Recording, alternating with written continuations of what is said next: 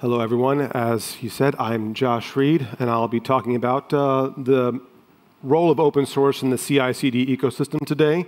Um, I, I, work as a release engineer at Aiven. Uh, we're a platform as a data platform as a service company, and that's given us some unique uh, challenges with regard to testing and delivering our software efficiently. Uh, and uh, it's kind of motivated us to kind of dive deep into the whole ecosystem and landscape of CI solutions, and we found some interesting things. So I'll start today with a poll. Um, who uses CI/CD at work? Raise your hand, please. Okay. If you, oh, you can keep them up if actually second. If, if you, uh, if you, if it's a software as a service um, offering like GitHub Actions or something, lower your hand. If you run it yourself, basically keep it up. Okay. If it's Jenkins, put your hand down. Okay, so we have some people that run something that isn't Jenkins. What, what, what, do you mind asking, what, what do you guys run? GitLab, okay, okay. So we have a few other things. Okay, so we have a, there's a little bit more diversity here than, than we might normally have. Okay, what about open source? If you run CI/CD in your open source projects, okay. If you does anyone run do it's not GitHub Actions? Anyone run not GitHub Actions for their open source? Something that isn't. What do you, what do you run? For, for open source? Oh, wow, okay. I didn't. Tra- they, is Travis CI still going? Okay, yeah, used to, yeah, yeah. Uh, oh, wow, I mean, so there's, again, like, there's kind of, I hope the point was pretty clear that it's, that it's kind of, there's a few options that we all know. There's not a whole lot of diversity there in what's actually going on, and not many of them are open source. And I want to know how we got here. Was it kind of general problems with open source funding? There's probably a whole series of talks there that I'm not going to give right now, but you know, obviously a part of it. Um, is it switching costs between different systems? I think this can play a big role because build and CI stuff that can have a nasty tendency to become this weird glue code that you don't, you know, no one really wants to touch because it works, and you know, leave it alone. Uh, could it be, you know, VC money, zero interest rates policies? Causing lots of money to go into B2B uh, IT solutions and taking all that energy away from open source? Maybe. But I think one of the big problems we have here is that one of the big observations we have about this ecosystem is that you, there's free for open source services. And that just makes it easy for people who have a lot going on and a lot to do and not a lot of resources to do them with. Because that, I, I think open source can't compete with business for CI CD server solutions just because, especially with the open source community itself, because most of those projects don't have the ability to run their own systems. There's a few that do. There's a few that might have the resources and time and the reasons to do that. But generally speaking, we're not going to compete in that area. Um, and with all the money that's going in, we're not going to compete with it for business either. But perhaps we can find a way to build better tools and components and protocols because we're closer to the problems than businesses tend to be because we're not necessarily, you know, we have different incentive structures that uh, influencers are designed differently. Um, so to give you uh, kind of an overview, I'm going to take a look at the CI/CD landscape as it exists today. There's a lot of commercial options out there. Um, GitHub Actions, you know, uh, is probably the de facto for a lot of people these days. There's a BuildKite. Uh, someone mentioned using that. Uh, does that run? Is there an open source version of BuildKite, or no? Oh, okay, okay. Um, or maybe they just offer it for free for open source and I didn't, wasn't aware of it. Um, Circle CI is another popular one, Semaphore. There's actually more. I don't have to put, up, put them all up here now. But the, the thing about these is these are, these are paid for services, generally speaking. Um, there's a couple open core offerings uh, out there. GitLab is the really big one in the field, uh, and Drone. And what I mean by open core is that they have a community edition and an enterprise edition. And usually the community edition has most of what you need to run um, a, a CI/CD system, especially for open source projects. But if you want, it doesn't have everything you need to actually run it as a service for somebody else. That's kind of a crucial distinction, and the kind of allows it's what sort of allows them to make money off the hosting of it. Um, then there's some fully open source projects out there. Uh, does anyone recognize any of these? If you recognize one, of so we have one person, two people that recognize. Okay, a few people. Um, GoCD is a uh, came from ThoughtWorks, Martin Fowler's consultancy, if you're familiar with him, uh, it's basically a dead project. There's Tekton, which is part of the Continuous Delivery Foundation, uh, again, part of the, under the Linux Foundation umbrella. That is a something that builds itself is not really a CI/CD system, but a toolkit for building one. Uh, it only works on Kubernetes. It's incredibly complicated, and I'm not really sure why it exists. Um, other, I mean, I, I, I, don't know. Taskcluster is what they use to build Firefox that they open source.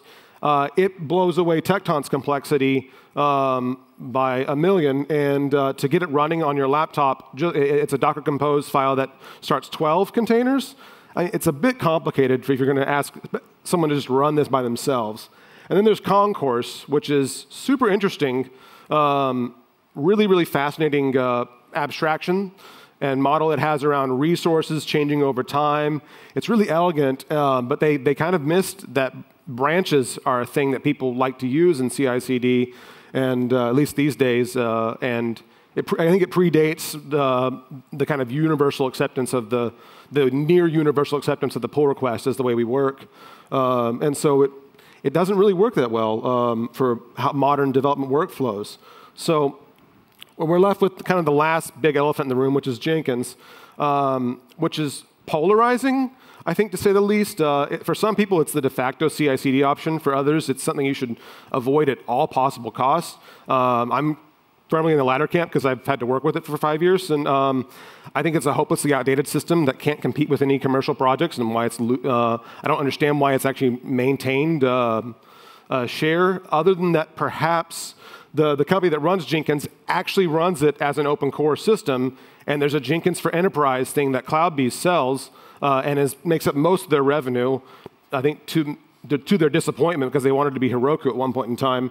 Um, and in that sense, it's not really an open source project, not, not fully open source as we might think. We just don't really associate with them the same way we might think of GitLab because CloudBees and Jenkins are not the same name.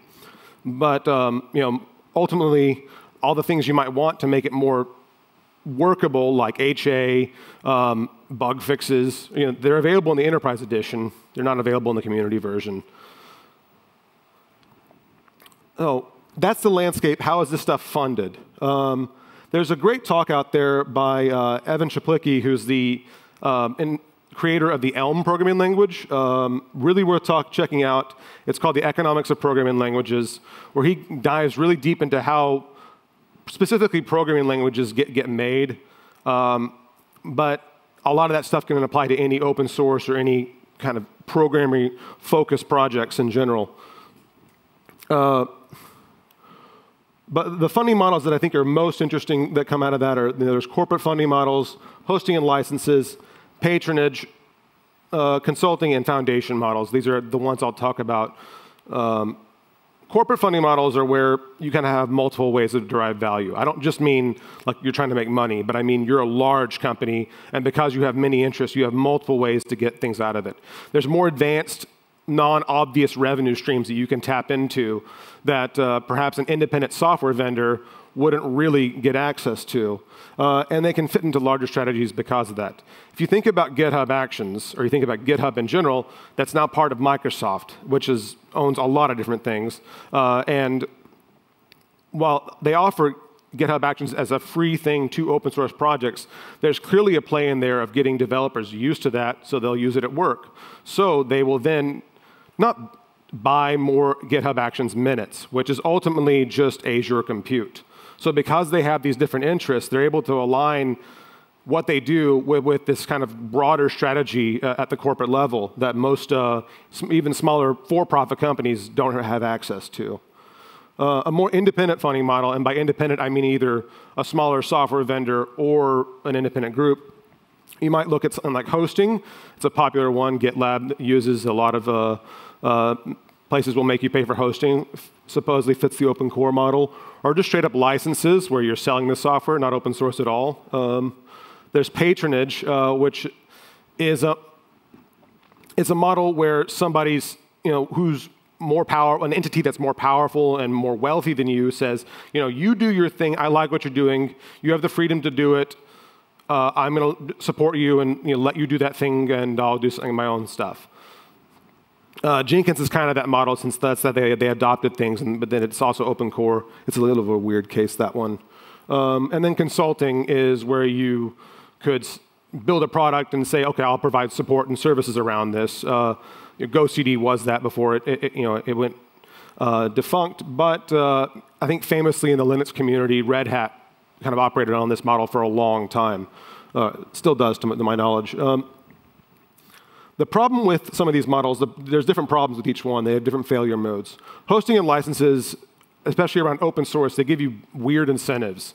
It could, you're basically, if you want to do open source at all, you're driven towards open core because you're worried about competitors coming in and hosting things for you and taking away some of the, all that hard-earned, you know, taking away the money you believe you can you should be earning, um, with while while putting in less investment work into the actual product to begin with. So the incentives, you tend to leave things out of the main product. You tend to avoid, you tend to solve the problems that, you that, you think will give you money and will drive your customer base, but not necessarily be better for the, uh, the service itself when you're in a patronage situation, you're, you're dependent on the, the, patron's interest staying in line with yours, and that's not something you can always control. It's not even something always the patron themselves can control. If you know, you're with a company and then the investors are, uh, of that company are like, well, what's going on over here? You know, they can influence those things. Uh, you know, mergers and acquisitions can happen. All kinds of stuff can affect that patron relationship that you're dependent on for your product. Uh, so it's not always the most stable thing, and you have to understand the specifics of what's going on before going into that. Uh, a consulting model uh, has, has scaling issues in that typically your, the amount of usage is going to, going to scale very closely, almost linearly, with the amount of work you have. So while you'd like to be able to spend more of your work time fix making your project better and better, you don't necessarily get to uh, because you're, uh, you're having to do more work for your clients, which is a good thing, but you know, it, it doesn't, again, like that's why VCs don't like consulting because it doesn't scale.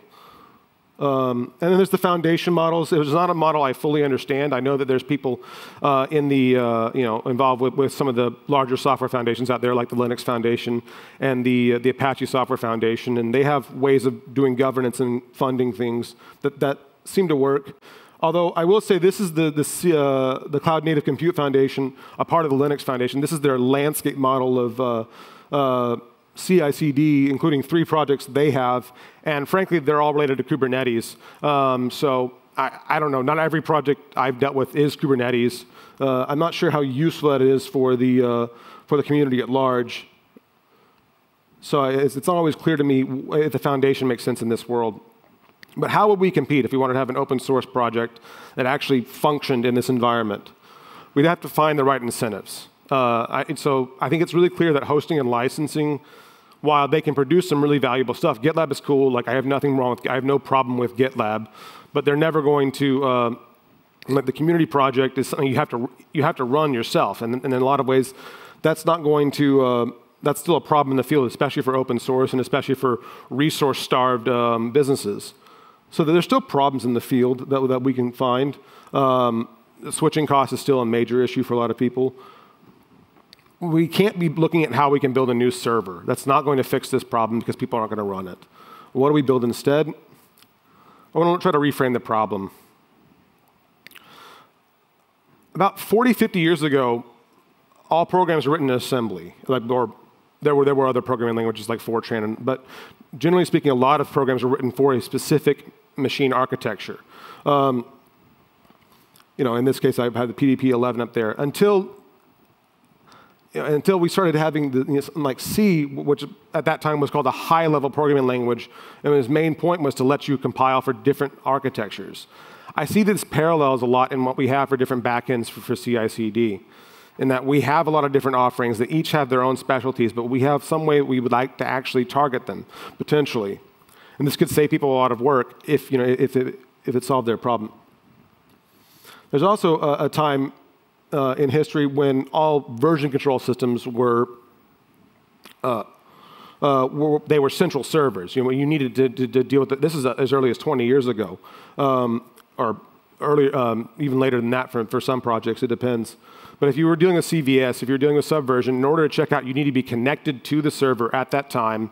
Uh, you couldn't just uh, you know, clone all of it on your machine and do it, make your own branches. All those operations were server centric. And, uh, and the Git came along and was like, well, that doesn't have to be server centric. It's just different whole copies of the thing that talk to each other. We could do the same thing for CI/CD. There there's no reason it has to be a server. And what would the requirements of something like that look, like? Well, we'd want to have um, a bit of vendor or backend independence. We don't want to be tied to a specific operator for our system. Uh, we don't want to require people to manage deployments because that's an operational headache for, again, especially open source projects and small teams, but even larger teams that don't specialize in this kind of stuff, they can find it you know, quite cumbersome. That's why they pay people to do it. Um, we want to be neutral towards the software type. I, I, don't care if you're, you're you know, a, a library you know, in whatever language or if you are a, um, a cloud-bound uh, containerized application or a mobile app or whatever. I don't, it, it shouldn't matter. That's why it, it, confuses me how all this investment is going into the Kubernetes only world. It seems to be that driven by cloud companies wanting you to spend more on cloud and not on solving the real problems that people have in the field. It should run anywhere, especially locally. Um, this for us at Aiven is actually one of the primary motivations of why we're getting involved in this is because we've had so many problems with developers having difficulty reproducing what actually happens in CI on their local machines. Uh, and the more, the more complex your system gets, the more, the, the more crucial this is. Uh, in fact, systems like I know Circle CI and GitLab, I believe, have have features where you can log into the, you know, you have, they have observability features where you can log into the running agent to see what's going on there because this is such a big problem. Uh, and you, if you, but ultimately you're reliant on the the, uh, the, the system you know, that, you're, that you're working with or the, uh, the people who are operating it to allow that kind of thing to work. Um, in a lot of cases, it would just be easier if you could do it locally. We want to play nice with build tools and IDEs. There are some things in this space that uh, kind of, they, they look at this problem, they step really back from it and say, oh, I, I know how to solve it. I'll reinvent everything from scratch. Uh, and I can talk about what some, what some of those are in a bit. That's a pain for developers because developers get used to certain tools. They get used to their IDEs working a certain way. They want to be able to see things. Um, so, likewise, some there's some tools out there that, that, do similar to what I'm talking about. They turn your CI into one command, which is great, but then you can't see, you have no observability as a developer as to what's actually going on. CI, CI/CD systems invest a lot of money into having user interfaces that uh, allow you to, to, to, visualize what actually happens during the pipeline. And if you turn that into one command, you lose that immediately or have to reinvent it. Lastly, I think we need to provide extra value, or second to last, we need to provide extra value uh, on top of what things are already getting. I think this is one of the areas that we are generally, that CI/CD systems actually lack, is they don't, they give you the toolkit to build things, but they don't tell you how to build these things. And I think that's, a, that's, that's an area that's, worth, that's definitely worth exploring is, you know, can I, can I look at projects and see what would the pipeline be for this in 90% of the cases and help you get there? I think that, that, that's an area where we can actually build, not just replace, but, but build on what current solutions are doing. And uh, in order for this, I think, to really be legitimately open source, this can't be a way to trick people into paying.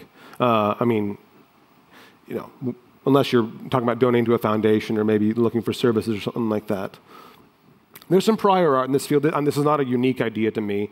Um, make files, I, have actually heard this suggestion. I don't know you, how, how, deeply you guys are into make files, but I, I've, I've had non-ironic suggestions that we should use makefiles to do this. And considering that I think in the last week I've had three different makefile bugs uh, that, that, happen intermittently on different machines, uh, I don't think that's a scalable solution. Um, if there's some of you that are smiling and you, have encountered these kinds of things. So it, it, it's not a mature build system. It, it's something that was written in the, in the, in the 1970s to solve very specific problems, and people abuse the hell out of it. Um, Dagger is a cool new solution that does most of what I was describing, except that it's, a, uh, it's, it's designed specifically to funnel you into their cloud system. And so if, you know, it, the whole idea about developers having exactly the same uh, reproducibility locally as they do in CI. Dagger provides that, but it also jettisons all other CI/CD systems. It uh, and, and, doesn't let you do di distributed computing or even really remote computing without uh, using their their paid service. And on top of that, I don't think it, it, engages in much in terms of intelligence about the code you're dealing with. You have to go into quite a great le uh, level of detail in order to get a meaningful build out of it. So I think there's some design uh, problems that from the start. For really simple projects, I've seen people use pre-commit successfully to solve this problem, where they just say, okay, my CI/CD is pre-commit. The, the problem there is it's incredibly simplistic. Uh, and so unless your CI/CD, unless your pipeline is very simple, this doesn't do you very much good. And at the far end of the spectrum from that, there's monorepo tools. And by that, I mean things like Bazel, Pants, Buck, if you've heard of these, these tools, that uh, reinvent the entire build process from the ground up. Uh, they have deep, deep, deep knowledge of what exactly is going on in your code, what targets depend on one another. Uh, you know, they engage in, in, analysis and have all kinds of plugins and things. The challenge there is that they're so into their specific way of doing things is that typical tools and often developer knowledge don't work with them directly. And that's what I mean by having to reinvent every possible wheel. Um, these are tools that were invented mostly at, uh, at the larger Silicon Valley um, companies out there, your, your Metas, your Googles, um, your Twitters, where they, they were solving problems at their scale that not everyone has, and also with access to tooling that not everyone else has. So I'm not sure while I, you know, I, I, actually work with the Pants team quite a bit, and I think it's a, it's a really interesting uh, tool and it can be useful for some projects, I'm not sure that uh, it's, it's meaningful for every project, and it's not a way to solve this problem in general. What I propose and what we're trying to build right now is a tool chain for this, and that's a pipeline compiler. We, we analyze what sources are in, in, in, your, in your source tree, and we spit out a pipeline definition. That, that's the key idea is that we're not, we're trying to rely on, although you do have some specification and config, we're trying to rely mostly on analysis to figure and convention to figure out what actually needs to happen here. Obviously, all build systems get complicated and we need, we need good ways to, to break out of those boxes and, uh, and, and move forward. But we also compile this for multiple targets. So the idea is the same thing happens on, uh, on you know, uh, locally as happens in GitHub Actions, as happens in Jenkins, and right now as it happens in BuildKite. Those are our, the backends we're looking at at this point. Um, there's a couple reasons for, for that. It sounds like a bit wasteful, but um, some things that I can't necessarily share about, about how we do things at Aiven. But uh, the idea there is that this would help teams that, uh, that one, need, need, that local reproducibility. Uh, if you don't have any say over your CI infra, which is a case, and, and I know I've known many teams that have had this problem, where you know somebody, either some VP or somewhere else in the company, just says, "We use this, you know, get used to it," uh, and that isn't solving their problems. Uh, I think we can find a way to implement the the better solutions we found out there. Things like uh, BuildKite's dynamic pipelines are an incredible idea that aren't really available in most of their CI systems. Can we re-implement in other places? Possibly. Um, we want to avoid lock-in. Uh, I don't know how many teams are super worried about getting locked into one CI/CD system. I think if it's a concern um, because you don't really, you don't think about it a lot. You don't. Uh, I worry about it for open source too, about Microsoft essentially having kind of the keys to how how um, how most open source software gets delivered through GitHub Actions. I don't think they would necessarily do anything with that. I don't I don't know, but uh, if, if that's something that worries you, then this, this could be useful. Or for teams that just care about other things. Um, you don't want to devote resources to this kind of problem. These are icky I love this kind of stuff. Like I, I, will sit there and deal with build systems and CI all day, and I'm weird, and I know that. Like most developers, they, they want to ship things to customers. They don't care about this stuff, and I don't really blame them. That, that, that's probably a, a, more sane impulse. Um, but it still becomes a massive headache uh, for a lot of people and I think that's how people end up getting drawn into it. If we could solve those problems, especially for open source developers who, who really should be, who don't have much time to begin with, that would be awesome. There's a lot of pitfalls to avoid when trying to do something like this. Uh, it's really easy to build bad abstractions that don't provide any value.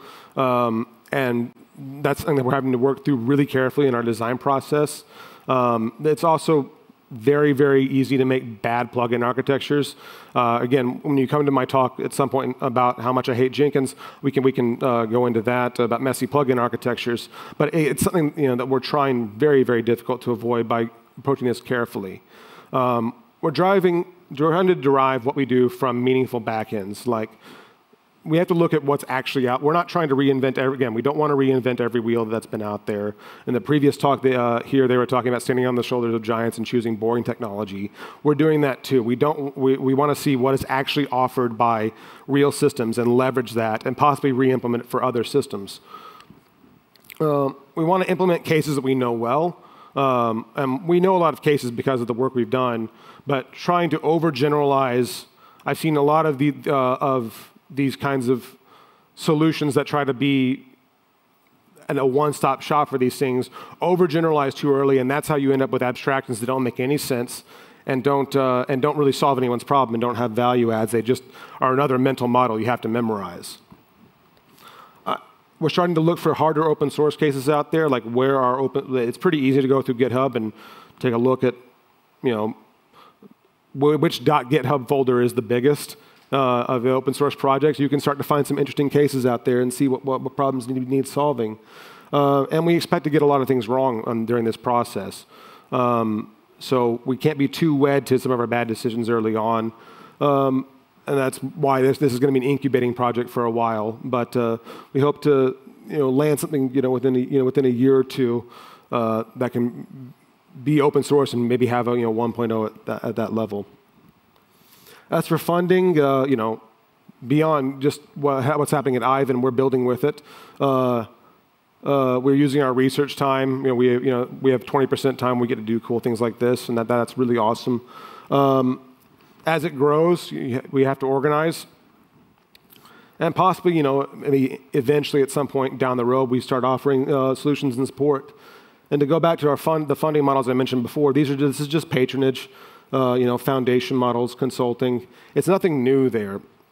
But we're trying to avoid the, those nasty incentives that, that I think drive people away from open source and towards relicensing and towards uh, uh, the, the, kind of things we don't want to see.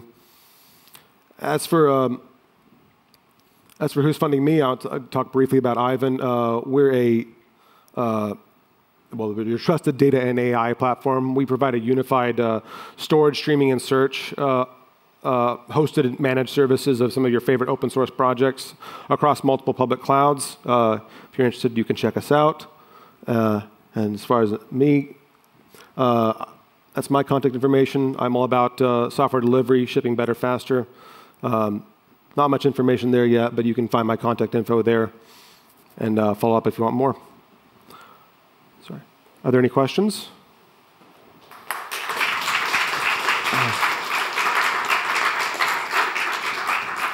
Thanks, Josh. Uh, does anybody have any questions for Josh?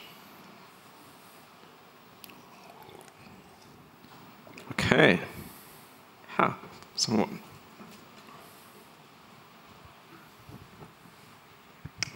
Thank you for the talk. It's nice to see uh, someone talking about the elephant in the room, which is how we test the things we build, especially as we build more and more. Uh, one thing that gives me hope for uh, open source platforms of CI is that many of the things we expect from the CI is getting commodified. Uh, linters, testing frameworks that have harmon like unified interfaces such as PyTest. Many things give me hope that where you run it and maybe how you run it becomes less and less important because the thing you run can be run locally, can be shared, can be iterated on. But I probably have blind spots, and you know better than me on CI. Do you see things that you believe should be standardized like the testing, like the, the linting, and that today many CI platforms do in their own way, that you think actually could be a component that we could itself extract and standardize from this?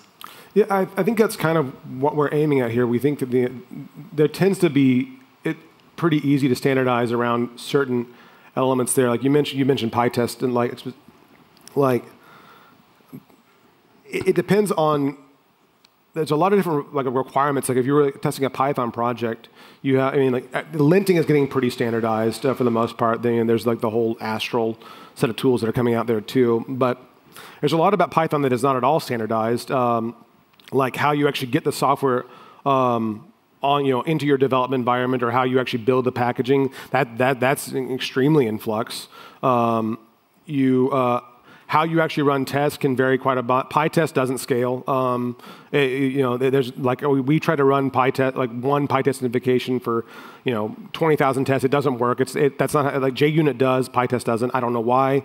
Um, and so those are problems we're trying to solve for specific ecosystems, but it can be challenging to uh, uh, to do that again without really looking at the cases that people have.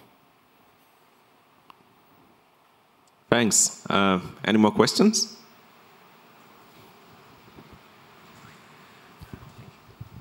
Um, so I have I have this experience that when when some open source projects use uh, a different kind of build tool or you know quality assurance tool, then they'll take you to some other place where you have to make a profile, hand over your GitHub um, authentication, which is not necessarily a win for the whole contribution process.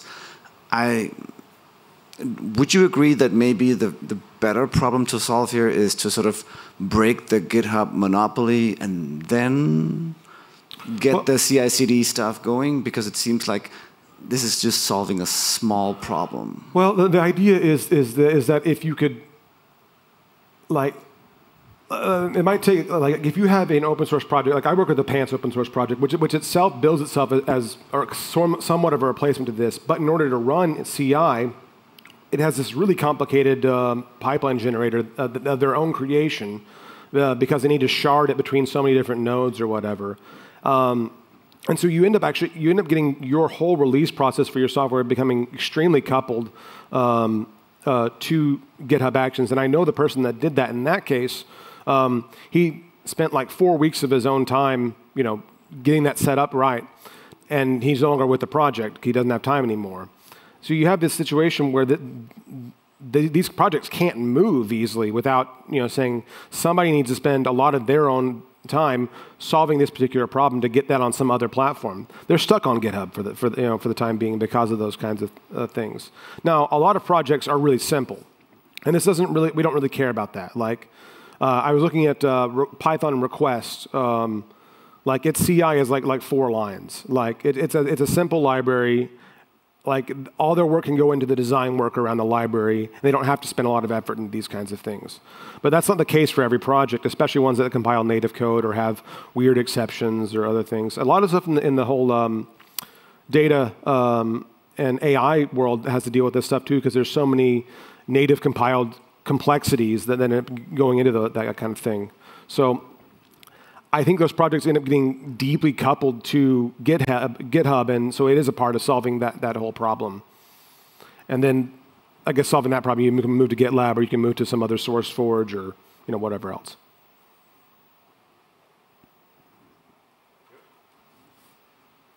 Thank you.